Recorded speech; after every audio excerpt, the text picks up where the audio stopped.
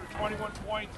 We come out the second half and we hit, who was that receiver? Gunderson. Gunderson, who ran through about five guys and just fired our whole team up.